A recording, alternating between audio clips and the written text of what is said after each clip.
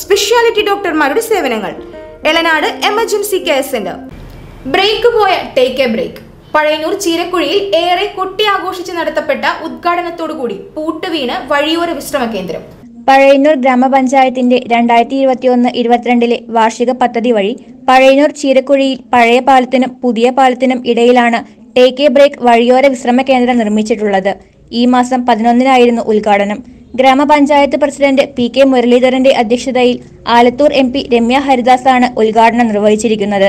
ജില്ലാ പഞ്ചായത്ത് ബ്ലോക്ക് പഞ്ചായത്ത് മറ്റ് ജനപ്രതിനിധികൾ എല്ലാവരും ഉദ്ഘാടന വേളയിൽ സന്നിഹിതരായതുമാണ്.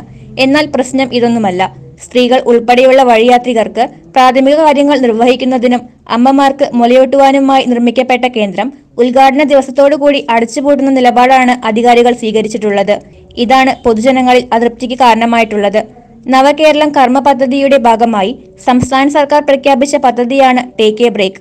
പൊതു ശുചിമുറി സമുച്ചയങ്ങൾ വഴിയോര വിശ്രമ കേന്ദ്രങ്ങൾ എന്നിവ ദേശീയ സംസ്ഥാന പാതകളിലും ജനങ്ങൾ കൂടുതലായുള്ള മേഖലകളിലും സ്ത്രീകൾ ഉൾപ്പെടെയുള്ളവർക്ക് വൃത്തിയും സുരക്ഷിതവുമായി ഉപയോഗിക്കാവുന്ന രീതിയിൽ കോഫി ഹൗസ് ഉൾപ്പെടെയുള്ള സൗകര്യങ്ങൾ ഒരുക്കുകയായിരുന്നു കെട്ടിട നിർമ്മാണം വഴി ലക്ഷ്യമിട്ടിരുന്നത്. എന്നാൽ ഉദ്ഘാടന ദിനമായ മെയ് പതിനൊന്നിന് ശേഷം പന്ത്രണ്ടാം തീയതി മുതൽ ഇന്നേ വരെയും പ്രസ്തുത കേന്ദ്രം തുറന്നിട്ടേയില്ല.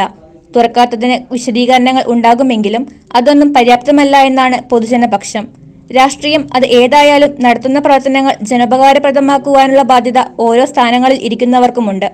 എന്നാൽ അത് പ്രാവർത്തികമാക്കുന്നില്ല എന്നതാണ് യാഥാർത്ഥ്യം പറയുന്നത്. ശുചിത്വ മിഷനിൽ നിന്നും എട്ട് ലക്ഷം രൂപയും ഗ്രാമപഞ്ചായത്ത് വിഹിതത്തിൽ നിന്നും ഏഴ് ലക്ഷം രൂപയും ഉപയോഗപ്പെടുത്തി ആകെ പതിനഞ്ച് ലക്ഷം രൂപ ചിലവിൽ നിർമ്മിച്ച കെട്ടിടം ഉപയോഗശൂന്യമായിരിക്കുകയാണ്. ന്യായീകരണങ്ങൾ ആരുടെ ഭാഗത്തു നിന്നും ഏതു രീതിയിൽ തന്നെ വരികയാണെങ്കിലും ഉദ്ഘാടനത്തിന് മുമ്പ് തന്നെ ആവശ്യമായ ക്രമീകരണങ്ങൾ ഏർപ്പെടുത്തുവാനുള്ള ബാധ്യത ടേക്ക് എ ബ്രേക്ക് നിർമ്മാണത്തിനായി യത്നിച്ചവർ ശ്രദ്ധിക്കേണ്ടതായിരുന്നു എന്നുള്ളതാണ് സത്യാവസ്ഥ. ലക്ഷങ്ങൾ ചിലവഴിച്ച് പാഴായിപ്പോയ പല പദ്ധതികളും പോലെ ഇതും പൊതുജനോപകാരപ്രദമാകാതെ ഇല്ലാതാകുമോ എന്ന ആശങ്കയും പൊതുജനങ്ങളിൽ നിലനിൽക്കുകയാണ്. News desk C